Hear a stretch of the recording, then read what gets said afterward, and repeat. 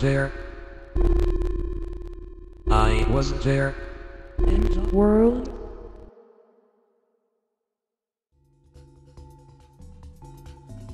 Il museo è nato perché fra io e mio padre abbiamo venduto per tutto il Novecento in una merceria i bottoni.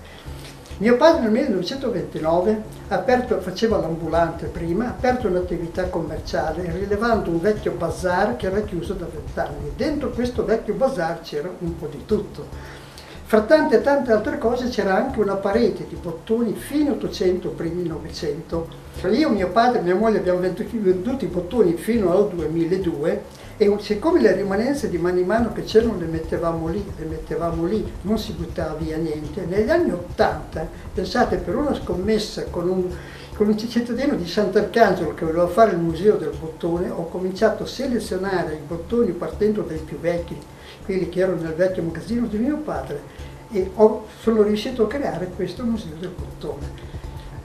Negli anni 80 ci ho messo il naso, mi sono cucito su dei cartoni, una ventina di cartelle di bottoni e ho capito che si poteva fare la storia del bottone attraverso la simbologia, i colori, i modelli, la moda dei bottoni. Però io siccome sono un grande amante della storia, mi sono letto tanti tanti libri in tutti i campi dei personaggi più importanti che hanno fatto la storia, ho capito che la simbologia che è sui bottoni non è mai casuale, ma dipende sempre da un avvenimento sociale, economico, politico, di costume, di moda, che uno stilista poi del popolo di un qualunque bottonificio lo ha messo su un bottone, che diventa una pietra miliare della nostra storia e testimone di quell'avvenimento.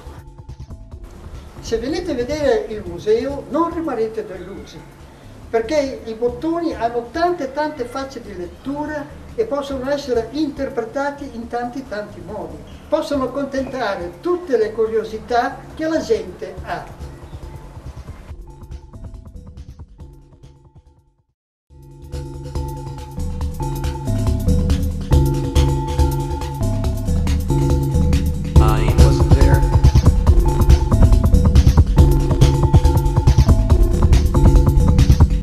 I wasn't there. I wasn't there in the world.